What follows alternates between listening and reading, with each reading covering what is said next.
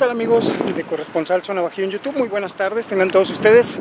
Estamos aquí en el municipio de Villagrán, donde esta tarde, esta tarde de miércoles 26 de abril del año 2023 se registra un incendio al interior de este predio.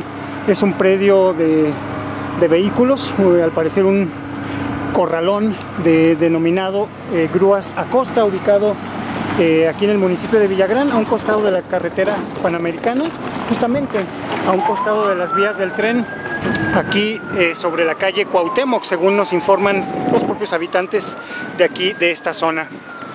Este incendio se originó alrededor de las 4 de la tarde, hasta el momento se desconocen los motivos que originaron el fuego aquí al interior, sin embargo como pueden apreciar continúan los bomberos en este momento realizando trabajo aquí al interior para mitigar el fuego, el cual, eh, pues bueno, en este momento vemos que ya está un poco más controlado, ya que hace algunos minutos circulaban videos a través de diversos grupos ciudadanos en, los, en las redes sociales, donde se podía apreciar una enorme columna de humo que alcanzaba varios metros de altura y que se veía con mayor intensidad.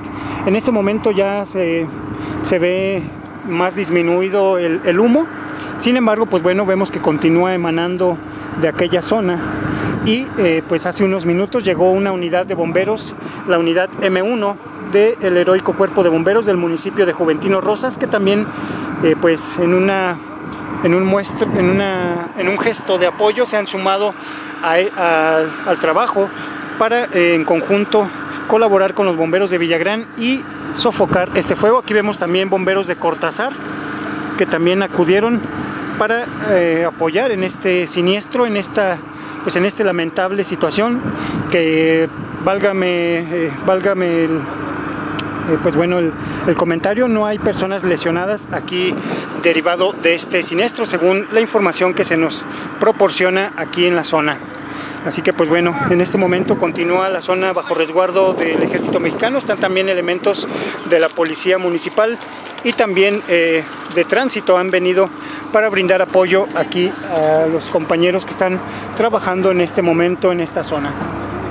Así que pues bueno, en este momento vamos a ver si podemos acceder un poco, ya está el fuego más controlado, están en este momento aquí, eh, vemos que los tanques de gas ya los separaron, los los eh, movieron de inmediato, que es el mayor riesgo que puede generar que ocurra una tragedia mayor. Hasta este momento no hay personas lesionadas, según lo que se nos informa. Únicamente, pues bueno, las afectaciones y las pérdidas materiales hasta este momento incuantificables.